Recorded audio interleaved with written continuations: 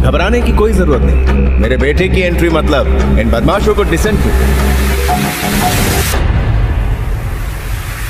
खुद को समझता क्या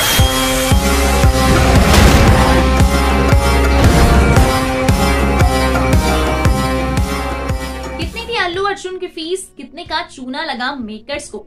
पुष्पा टू के लिए क्या ऑफ़र दिया कास्ट को? हेलो दोस्तों, मेरा नाम है श्रीशा और आप सभी का स्वागत है बॉलीक्राफ्ट स्टूडियोज में। दोस्तों, पुष्पा द इन दिनों ओटीटी प्लेटफॉर्म पर धूम मचा रही है। ये सबसे ज़्यादा देखी जाने वाली फ़िल्मों में से एक के रूप में सामने आई है। दर्शकों के बीच इसके लिए जुनून देखते ही बन रहा है। इस फ़िल्म को 200 करोड़ रुपए के बजट में बनाया गया है। फ़िल्म को लेकर यह जानकारी सामने आई है कि यह सुपरहिट मूवी से जुड़े कलाकारों में से हर एक ने निर्माता से इसमें काम करने के लिए बदले अच्छे खासे पैसे लिए हैं। लीड एक्टर अल्लू अर्जुन ने पुष्पा राज की भूमिका पर्दे पर निभाने के लिए 20 करोड़ रुपए लिए हैं। तो वहीं फीमेल लीड रश्मिका जो कि उनके ऑन स्क्रीन लव इंटरेस्ट के रूप में दिखी है, उन्होंने 10 करोड़ रुपए लिए सामंता, रूथ प्रभु ने एक स्पेशल नंबर को ओवन टॉक के लिए डेढ़ करोड़ रुपए लिए हैं। उसी तरह से आईटीएस भंवर सिंह का किरदार निभाने के लिए फहाद फासिल ने करीब तीन करोड़ रुपए लिए हैं।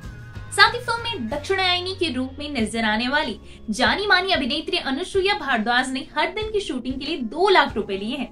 बताया जा रहा है कि अभिनेता राव रमेश ने भूमि रेड्डी सिद्धपा नायडू का किरदार निभाने के लिए 30 लाख रुपए लिए हैं। साथ ही बता दे, मंगलम श्रीनु की फ़िल्म में कॉमेडी रोल के लिए अभिनेता सुनील ने एक करोड़ रुपए लिया है। इसके अलावा मूवी के निर्देशक और लेखक शिव कुमार ने पच्चीस करोड़ रुपए की फ़ीस ली है।